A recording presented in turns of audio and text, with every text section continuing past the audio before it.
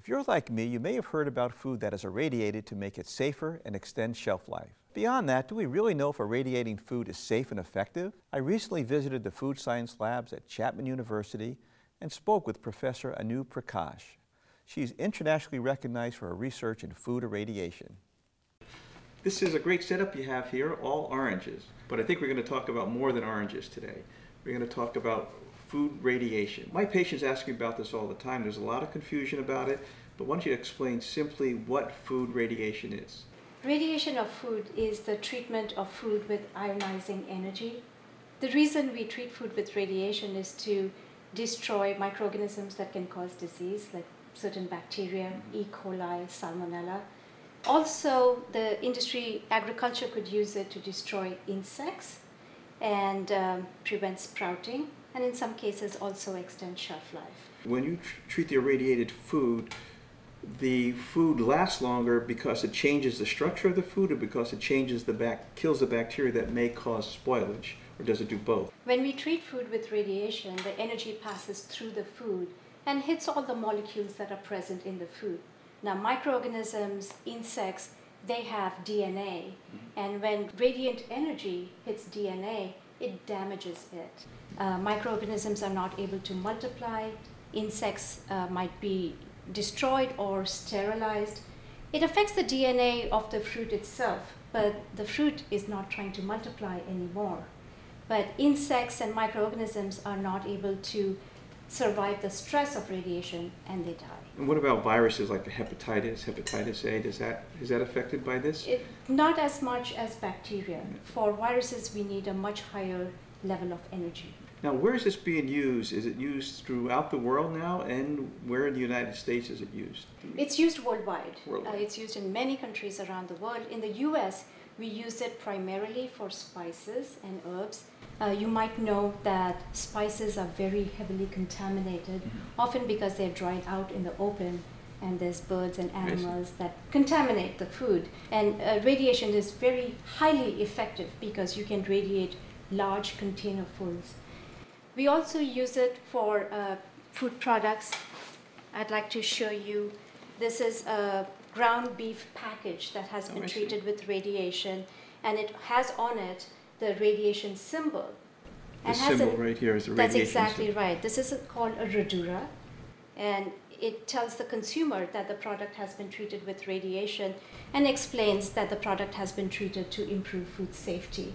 Now, this will not affect the taste of the food?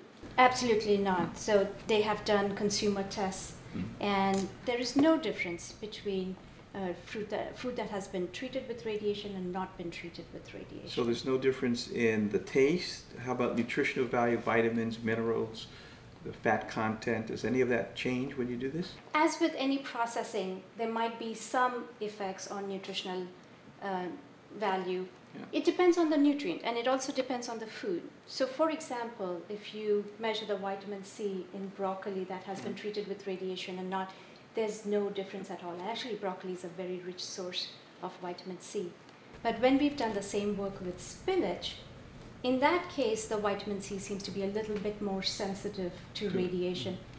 Regardless, the reduction in vitamin C is far less than any other treatment, any other processing that you would do to food. Okay, so you do beef, you do, these are... Um, this is a package of mangoes from India that were imported into the US and the only way that they can be imported is if they are treated with radiation.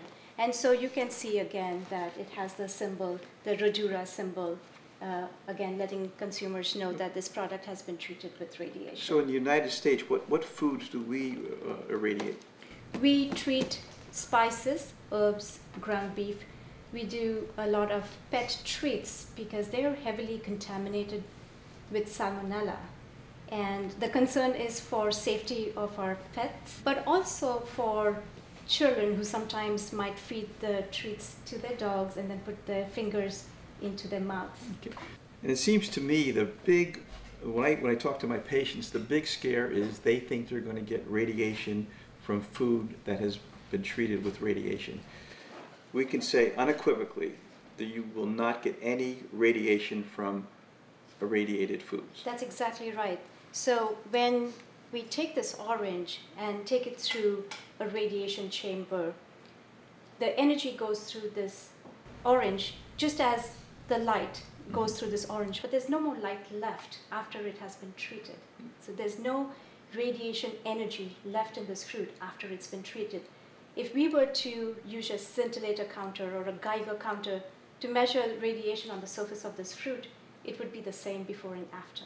Fantastic. So I guess you have food that's been radiated and not radiated here, and I can taste some, perhaps? Absolutely.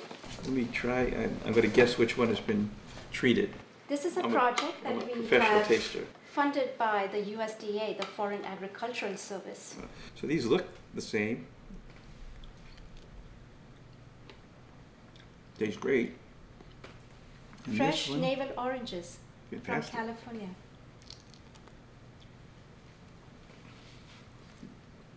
You couldn't tell one from the other. The taste, the consistency, the sweetness, the color is all absolutely the same. Were you able to tell a difference in acidity?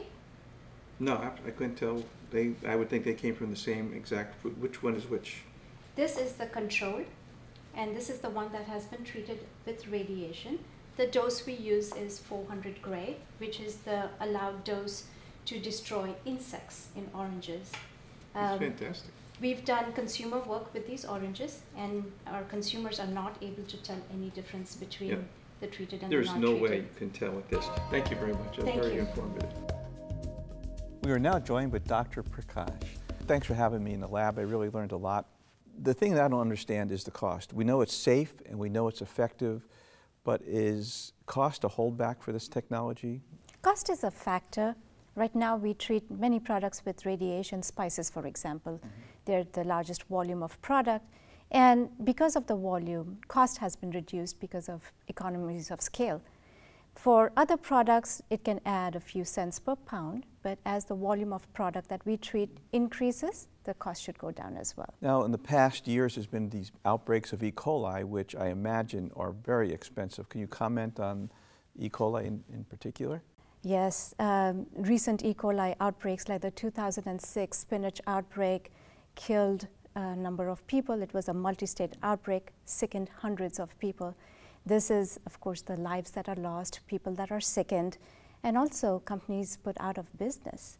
So it's uh, expensive uh, in many ways, uh, you know, in cost of human lives and then, of course, uh, economy as well. So really, the industry, if they look at it in the whole, the whole picture, is probably cost effective. I mean, if you have one E. coli outbreak, that's the end of, that could be the end of your company, and it might be really worthwhile to do this. Absolutely. We sterilize instruments in the, in the hospital. I do lots of procedures, and there's some of the things that we use over and over. Is this technology used for that? Yeah, in fact, a lot of the facilities that treat food products also treat medical devices. That might be a quite a significant fact, uh, amount of their business. They treat bandages, gauzes, um, stents, um, any medical device that gets put inside the body, because this is a way to sterilize 100% um, these medical devices without the use of heat, Because heat may be damage it, the, the material. Uh, But this does not damage the material. The packages that you have here are quite interesting. Can you explain these to me?